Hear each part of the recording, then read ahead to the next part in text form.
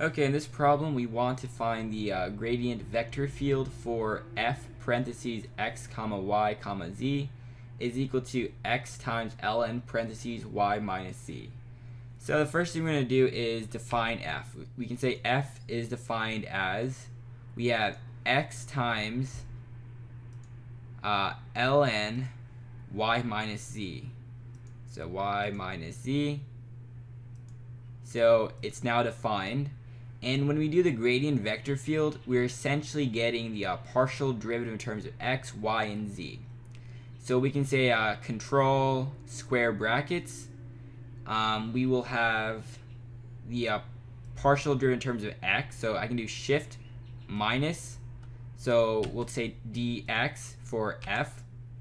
Likewise, we do the same thing for y and z. So shift uh, minus.